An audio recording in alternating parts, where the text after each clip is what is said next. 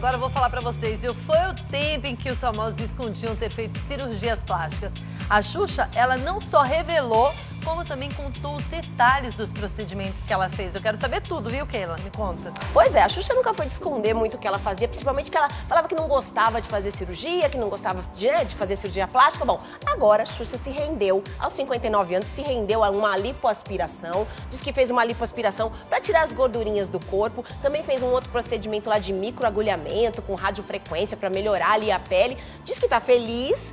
Ah, diz que ainda tá sem dor, foi aqui em São Paulo, ficou uns dias internada, já tá em casa, tá bem. Ela disse que o médico deve ter mexido bem pouquinho, porque ela quase não tá sentindo dor e ela falou tanto na cabeça dele de que não queria mexesse muito, não, mudasse muito, mas ela disse que tá bem, logo logo ela vai mostrar o resultado. Quando tudo é feito com moderação, o É resultado é sempre bom, né, Keila? É Só isso. não pode errar a mão, é isso. Depois de ter um problema de saúde e deixar os fãs preocupados, veja quem apareceu na rede social divertindo os seguidores, hein? Oba! Na semana passada, o ator e humorista Renato Aragão deixou todos preocupados. Aos 87 anos, ele ficou alguns dias no hospital em observação após sofrer um acidente isquêmico transitório, um bloqueio temporário de sangue no cérebro. Agora fez questão de mostrar que está realmente ótimo.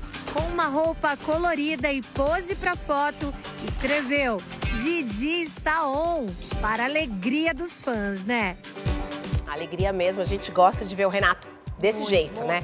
Mas os médicos explicaram pra ele, pra mulher dele, claro, ninguém gosta de ficar doente, ninguém gosta de parar no hospital, mas o que aconteceu com o Renato, na verdade, foi um aviso do corpo dele pra ele se prevenir pra algo pior. Um acidente isquêmico, geralmente, ele vem antes de um acidente vascular cerebral, que é muito mais grave. Então foi um aviso do corpo do Renato, olha, você precisa monitorar isso para que você não tenha um AVC. E agora ele vai fazer exames periódicos, com mais frequência, acompanhar a circulação sanguínea. Então, assim, de alguma forma foi um recado bom para que ele se cuide mais, entendeu? E a gente torce aqui para que você tenha muita saúde e continue aí divertindo a gente, viu? Um beijo para você, Renato.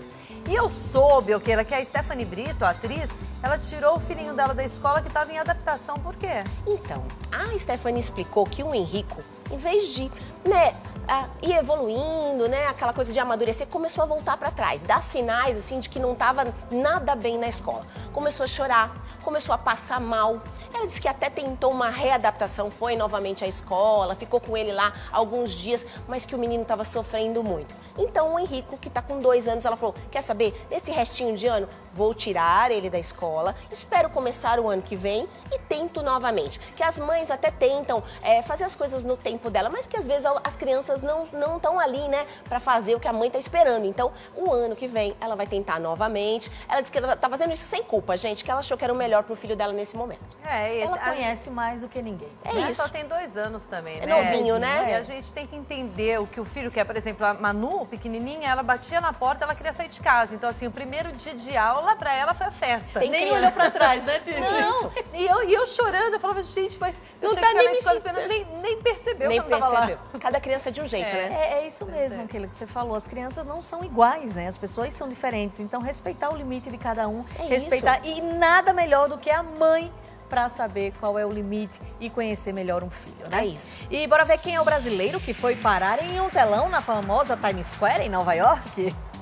Ronald é filho de Ronaldo Fenômeno e Milene Domingues, mas seguiu passos completamente diferentes dos pais.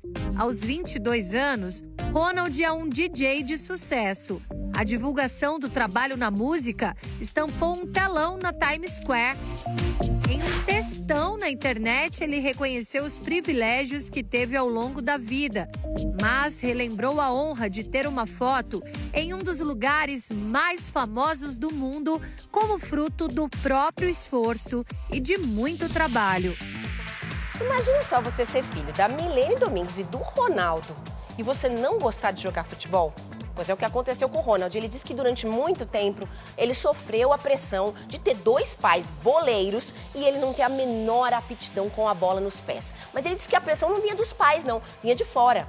Que o pai e a mãe entenderam rapidamente que ele não tinha o menor jeito para futebol, que a pegada dele era outra e incentivaram ele a seguir um caminho que o coração dele mandou, que foi o da música. E foi o que ele fez. Ele disse que o equipamento dele de DJ, ele foi comprando conforme ele foi ganhando os cachês. Foi juntando dinheiro e comprando. Mas é claro que ele, a ajuda do pai famoso foi muito bem-vinda, abriu muitas portas. Ele tem que reconhecer que o nome do pai dele abre muitas portas. Mas que ele gosta de conquistar as coisas sozinho também, viu? É, a gente tem que, como a gente estava falando agora há pouco, a gente tem que reconhecer o que o filho realmente quer, o que ele precisa, né? Não gosta de futebol, tá tudo bem, tá tudo bem. né?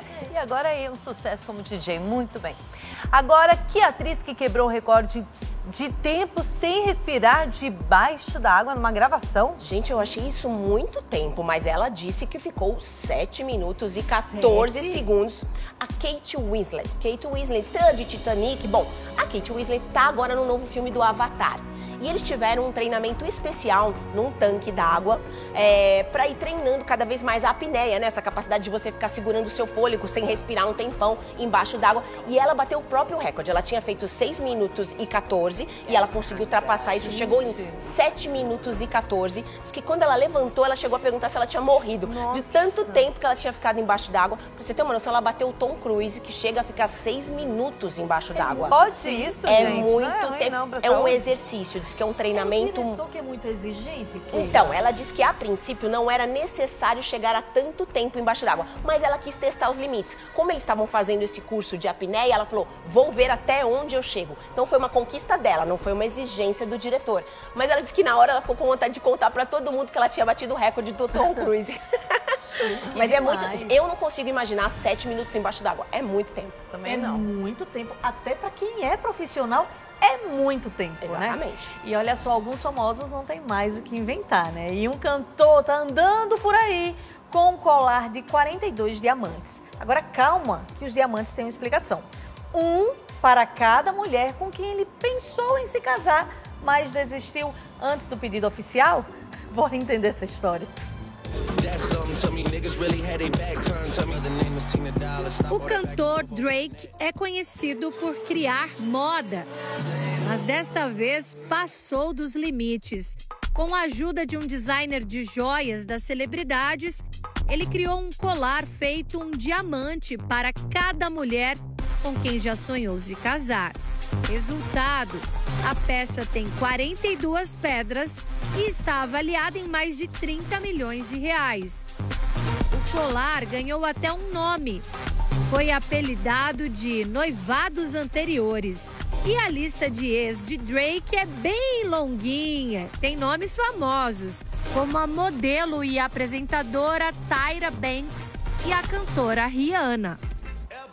Pois é, gente, mas o colar, né, esse colar de mais de 30 milhões aí, ele não está fechado. Drake pode adicionar novos diamantes caso ele se interesse em se casar com uma nova Olha, pretendente, né? Ideia, pode é? aumentar aí o número de diamantes gente, do colar do Drake. Mas cada diamante é o valor que ele gastaria numa festa de casamento, entendeu? Ou então, então o diamante que ele daria para noiva. Eu é. acho que é um diamante para cada anel de noivado. Não, em vez dele, ele pensou no divórcio, que é mais caro. Então era melhor fazer com quem só ele pensou em casar. Gente, se eu tivesse pensado, né, assim, eu me apaixonei pelo, pelo Tom Cruise, Brad Pitt, né, todo artista que eu vi em algum filme, eu me apaixonava, pensava em casar. Imagina o que ia dar volta Imagina. aqui. De criança, eu tô falando.